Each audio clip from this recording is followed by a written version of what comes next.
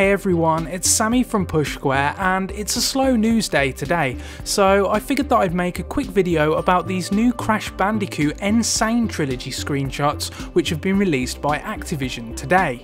Now they're all taken from Crash Bandicoot 2 Cortex Strikes Back, offering us our very first look at the Komodo brothers as well as the Bear It stage where the eponymous hero rides atop Polar, the uh, polar bear. It's looking really good on the PS4 isn't it? What I like is is how expressive the game appears to be, even in screenshots. It's, you know, bursting with personality, which is obviously what made the original game so popular in the first place. But do let me know in the comments what you think about these new screens, which levels are you hoping to see next, and as always, thank you so much for watching.